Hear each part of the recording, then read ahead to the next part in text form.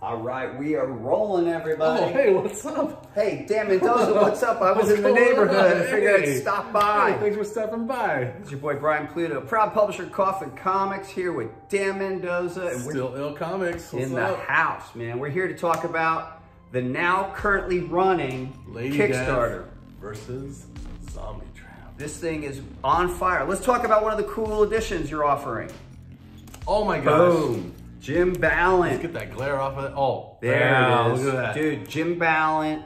Man, what happened? Bat What's the Jim himself. Bat Jim. What's the story behind inviting Bat Jim to uh, Oh this campaign? We, this is an honor. Yeah, Jim Balent, man, it just it just has such a name for himself in the indie world, man. And Yep. and and it was just on a whim, like on one campaign, I was like, would you want to do a cover? and he was like, yeah, man. And he fit it in his schedule and he did it. And then and then so when this campaign came around, I'm like, hey, would you want to do another cover? And he was like, yes. And I was like, man, this Jim is awesome. Jim is awesome. I name checked us uh, in Diamond Previews. In the Previews catalog. It was quite funny. It was awesome, man. Said we used to sing together in the church choir. That's right. I remember. Yeah, yeah. And I was saying, yeah, I, I PM'd him and I'm like, man, we really cut it up back in the church choir, didn't Yes, we? Yes, we did, man.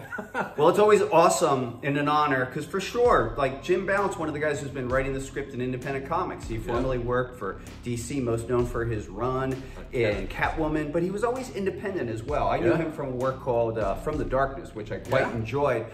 And then he came to his end, end of the run at Catwoman. He's like, I'm independent. Boom. yeah.